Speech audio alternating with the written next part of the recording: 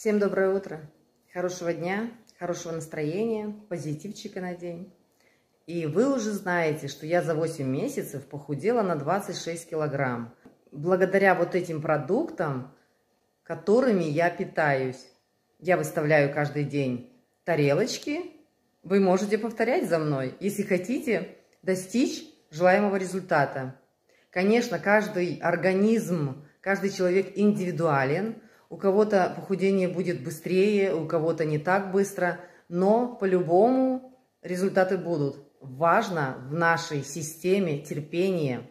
То есть не нужна никакая спешка. Идем медленно к назначенной цели. Э, я подогрела водичку.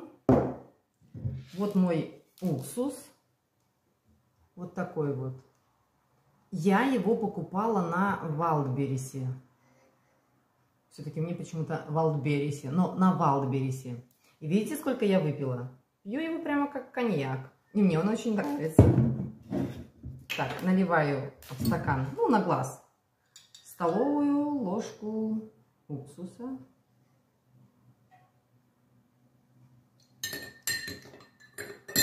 И, кстати, цена его тоже как такой, ну, типа не очень дорогой коньяк.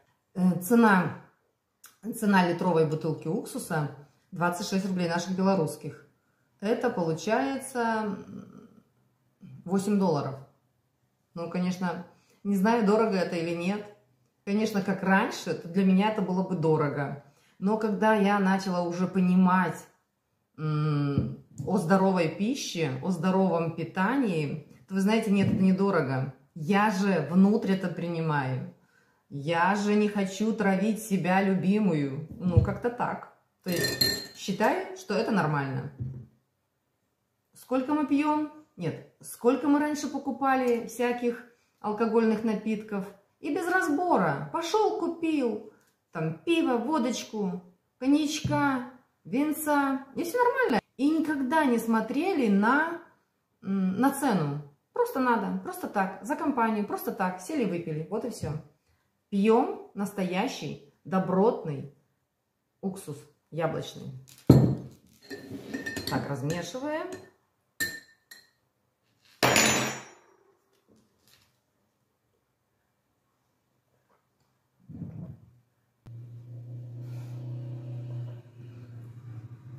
Так и хочется сказать, обалденно вкусный. Понимаете? И видите, как человеку нужно мало. Радуюсь уксусу. Как-то вообще правильно это ли? Иду споласкивать рот. Все-таки это уксус. Ну, а сейчас нужно чего-нибудь погонять, типа желчи.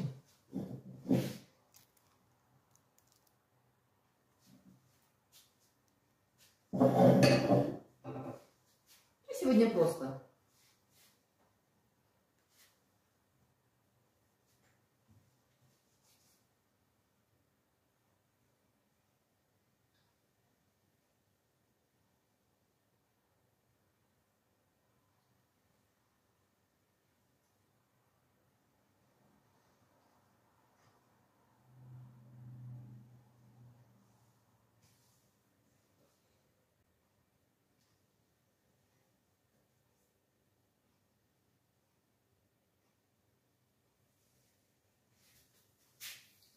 Кстати, вот смотри на себя. Ну, неужели я такая уже худющая, что мне все кричат, хватит уже худеть? А мне нравится. И вы знаете, реально не хочу быть пышкой больше. Мне сейчас очень легко.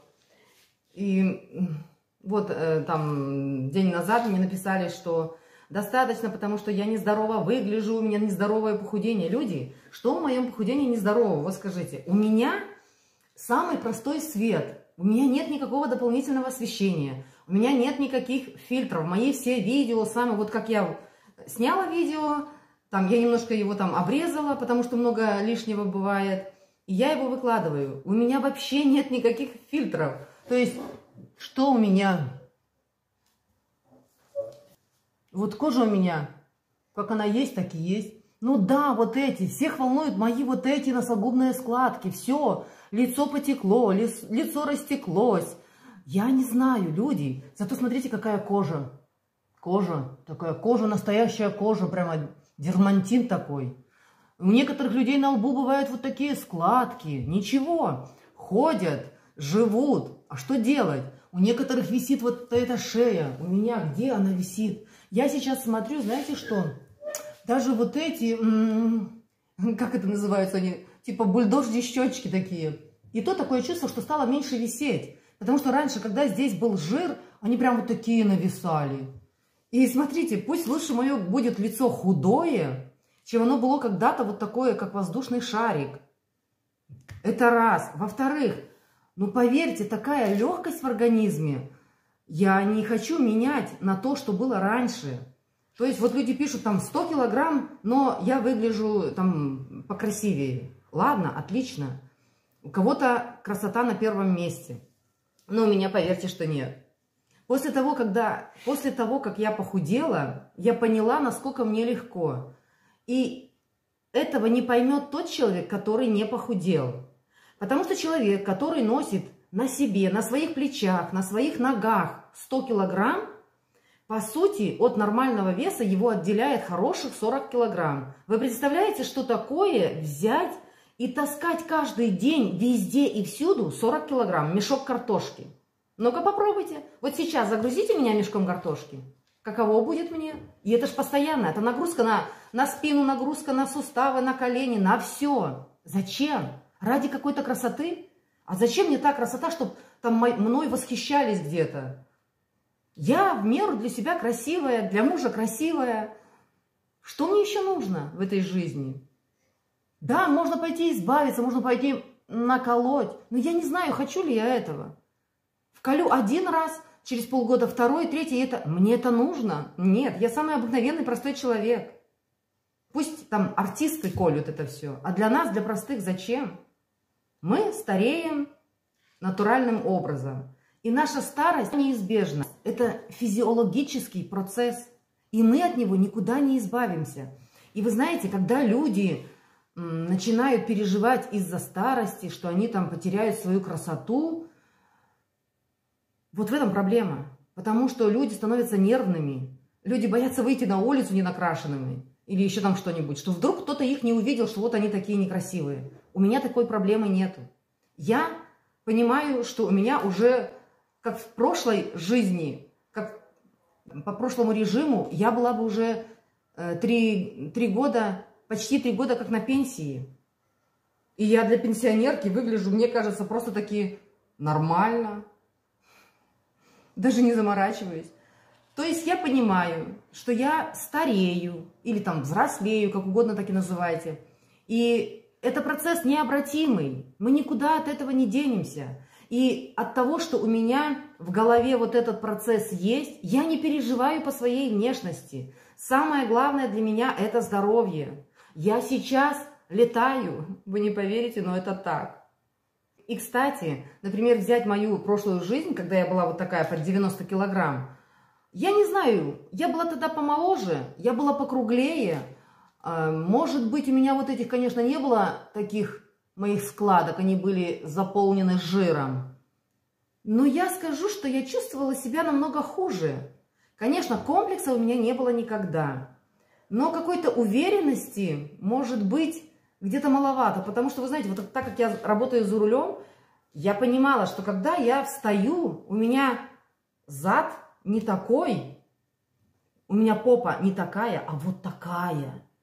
Иногда, может быть, меня, ну, как-то мне было некомфортно. Вот по моей попе, по моей жирной вот этой попе. Сейчас я чувствую себя на всех сто процентов классно.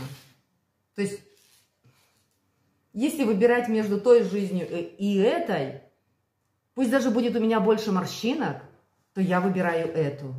Это по-любому.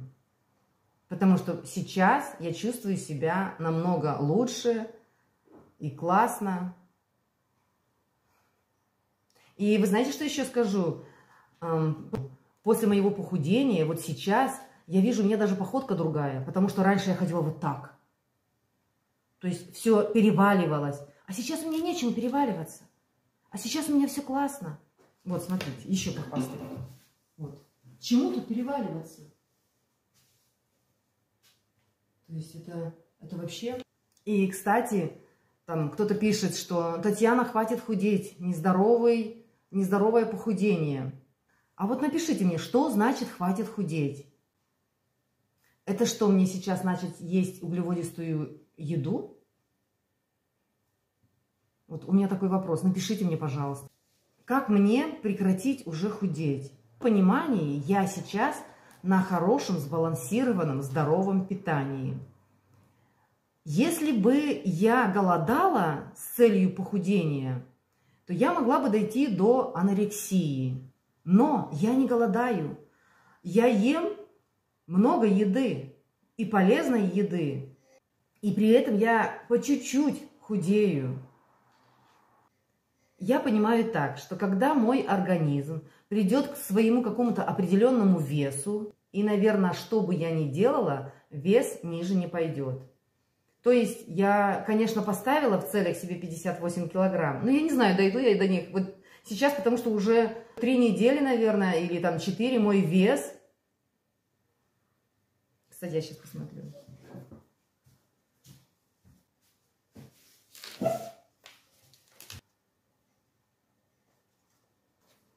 И, кстати, я вот посмотрела по своим бумажкам, которые я записываю. Вы знаете, вот у меня уже практически месяц вес стоит на одном уровне.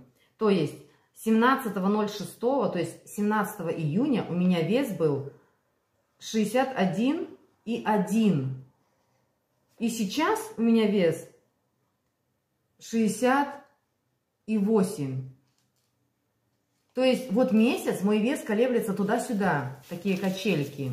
Вы знаете, я не переживаю, потому что я, я ем здоровую еду, и в принципе не очень важно, какая цифра на весах. И так как я понимаю, что невозможно, чтобы вес каждый день снижался. И сейчас я ставлю такой план для себя. Для себя.